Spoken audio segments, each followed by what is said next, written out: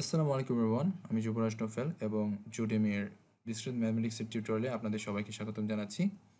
আজকের বিষয়বস্তু হচ্ছে কম্পাউন্ড প্রপোজিশনসের ট্রুথ টেবিল তো আমার সামনে একটা কম্পাউন্ড প্রপোজিশন এই মুহূর্তে আপনারা দেখতে পাচ্ছেন, যেটা হচ্ছে P or not Q implies P and Q compound proposition হচ্ছে লজিক্যাল অপারেটর দ্বারা বিভিন্ন মৌলিক প্রপোজিশনকে দিয়ে নতুন প্রপোজিশন তৈরি করা। তো এখানে আমাদের যে কম্পাউন্ড প্রপোজিশনটা এটাকে ট্রুথ টেবিল তৈরি করতে হলে আমাদের অনেক কিছু দেখতে হবে। প্রথমে দেখতে হবে এটাতে ভেরিয়েবল সংখ্যা। এটাতে ভেরিয়েবল সংখ্যা আছে কয়টা?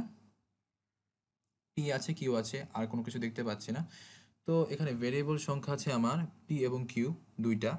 তাহলে আমার যে কম্বিনেশনটা হবে ট্রু ফলসের কম্বিনেশনটা সেটা চারটা কম্বিনেশন তাহলে আমার রো করতে হবে পাঁচটা, কারণ একটা নামের জন্য ভেরিয়েবলের নামের জন্য। এবং বাকিগুলো নিয়ে ভাবছি না, এখন করে ফেলি। তো পি এবং কিউ এর জন্য দুইটা ঘর করলাম কলাম ওয়াইজ আর রো করলাম পাঁচটা।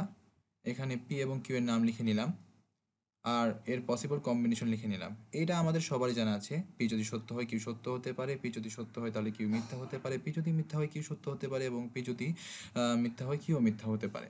এটা আমাদের সবারই মোটামুটি জানা আছে।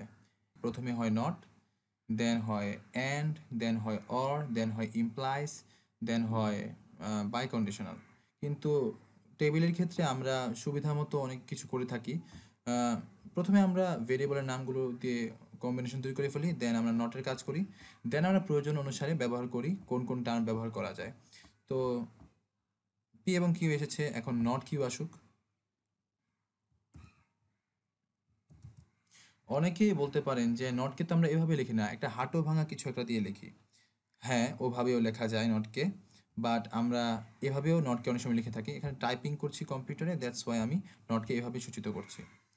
নট কিউ তাহলে নট কিউ কি হবে? কিউ এর বিপরীত। তাহলে এখানে আছে ট্রু তাহলে হবে ফলস এটা ট্রু এইটা ফলস আর এটা ট্রু আমরা নট কিউ এর কম্বিনেশন পেয়ে ফেললাম, যেটা কিনা কিউ এর সম্পূর্ণ কমপ্লিমেন্ট করছে।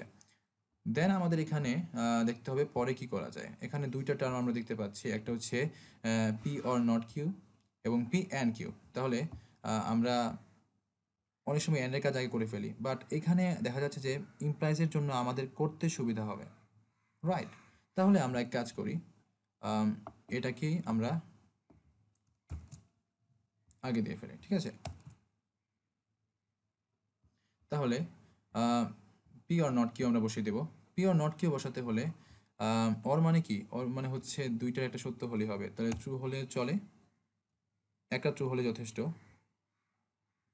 একটা ট্রু হয়েছে, তাহলে ট্রু কিন্তু এখানে দুইটাই ফল যেহেতু ফলস হবে বাট এখানে ট্রু তাহলে ট্রু ট্রু ফলস ট্রু এখানে আমরা পি অর নট কিউ পেয়ে গেছি। এখন আমাদের যেটা পেতে হবে সেটা হচ্ছে পি অ্যান্ড কিউ যেটা কিনা খুবই সহজ।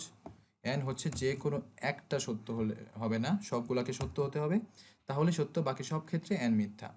তাহলে পি অ্যান্ড কিউ এর মধ্যে প্রথমটা দুইটাই সত্য হচ্ছে যেহেতু, তাহলে সত্য। কিন্তু বাকি একটা ক্ষেত্রেও কিন্তু দুইটা সত্য হচ্ছে না। তাহলে বাকি সবগুলো ক্ষেত্রে এইটা মিথ্যা হয়ে যাবে। ঠিক আছে? এখন যেটা করতে হবে সেটা হচ্ছে আমার, পুরোটা করতে হবে ইমপ্লাইজ এই দুইটাকে ইমপ্লাইজ করতে হবে। এই দুইটাকে ইমপ্লাইজ করতে হবে। তো এই দুইটাকে ইমপ্লাইজ করতে হলে কি করতে হবে? এখানে দেখা যাচ্ছে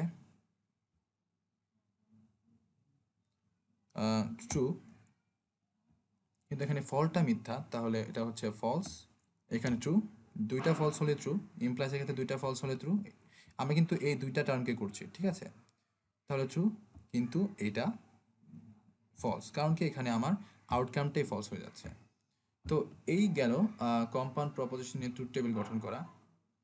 তাহলে এই গেল কম্পাউন্ড প্রপোজিশনসকে ট্রুথ টেবিলে বানানো। আমরা পরের ভিডিওতে দেখব কীভাবে একটা ইংলিশ সেন্টেন্সকে লজিক্যাল এক্সপ্রেশনে তৈরি করতে হয়। ধন্যবাদ।